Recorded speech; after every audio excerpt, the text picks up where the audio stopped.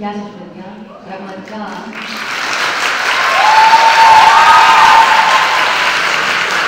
Πραγματικά θέλω πάρα πολύ την σήμερα.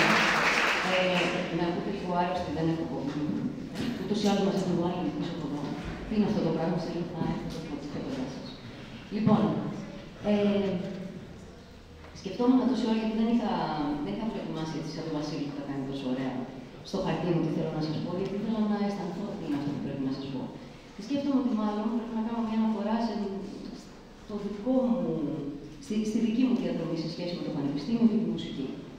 Ε, όσο ήμουν μαθήτρια στο σχολείο, το μόνο που σκεφτόμουν είναι ότι ήθελα να ασχοληθώ με κάτι που αφορά στις πολιτικές επιστήμες, με σκοπό να ακολουθήσω ε, μια διπλωματική διαδρομή και να μπορέσω να πάω σε μέρη που οι άνθρωποι με είχαν ανάγκη και να είχαν τόσο αφελή, όπω οι περισσότεροι άνθρωποι που είναι σε αυτέ τι ηλικίε. Μπήκα λοιπόν στις πολιτικές επιστήμες στη νομική και την πρώτη κιόλα μέρα συνειδητοποίησα ότι αυτό μάλλον δεν είναι για μένα. Γιατί αντιλαμβανόμουν ότι κάτι μεσολαβούσε μεταξύ αυτού που ήθελα να κάνω, ο λόγος για τον οποίο διάλεξα αυτή την, ε, τη σπουδή και αυτό που τελικά θα αναγκαζόμουν να κάνω στο μέλλον. Σε εκείνη τη φάση, και επειδή η δική μου γενιά είναι μια γενιά πάρα πολύ ε, αμήχανη, αμήχανη απέναντι στα πολιτικά. Είμαστε μια γενιά που γεννηθήκαμε σε μια φάση που όλα κάπως ήταν λιμένα και το μέλλον για μας θα ήταν φανταστικό. Άρα, η ιδέα είμαστε μια γενιά κάπως απολυτική.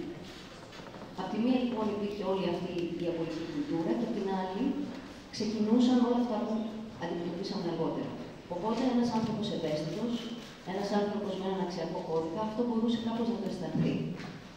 Και επειδή το αισθανόμουν, έψαχνα να βρω μέσα από την προσωπική μου θέση και μέσα από αυτό που εγώ προσωπικά ένιωθα, την έκφρασή μου στον υπόλοιπο κόσμο. Εκεί συνάντησα το θέμα και το Γεράσιμο και τον Κώστα, τους φίλους μου και τους συνεργάτες μου, τους μουσικούς, και μέσα από τη δική μας προσωπική ιστορία προσπαθήσαμε να μιλήσουμε στον υπόλοιπο κόσμο. Και διαπίστωσα μέσα στα χρόνια που ήρθαν ότι αυτό που μπορεί να κάνει η μουσική, αυτό που μπορεί να κάνει το τραγούδι σε έναν άνθρωπο είναι πολύ πιο δυνατό από αυτό που μπορεί να κάνει μια διπλωματική θέση. Και το εννοώ αυτό.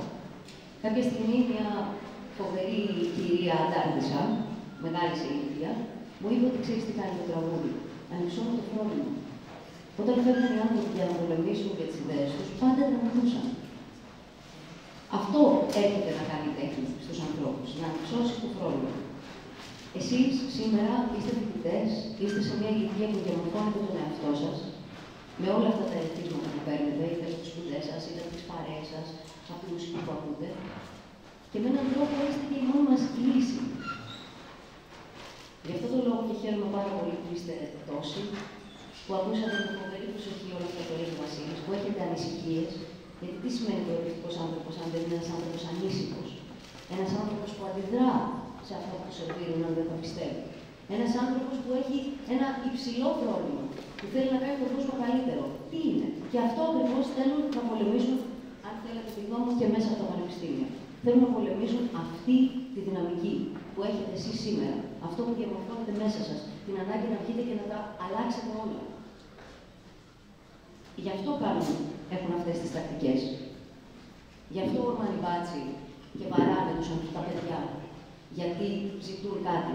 Και δεν, το, δεν αναφέρομαι μόνο σε αυτά που γίνεται στη Θεσσαλονίκη, γιατί αυτές είναι οι πρακτικές που συνηθίζουν και κάνουν εδώ και πάρα πολύ καιρό και θα συνεχίσουν να κάνουν. Τι μπορούν να βρουν αντίσταση, και τι είναι αυτό που μπορούν να βρουν αντίσταση, εσάς, εμάς. Και τι είναι αυτό που μπορεί να μας κάνει να νιώσουμε ότι ναι, μπορούμε να τα καταφέρουμε; Πολλά πράγματα, αλλά και η τέχνη.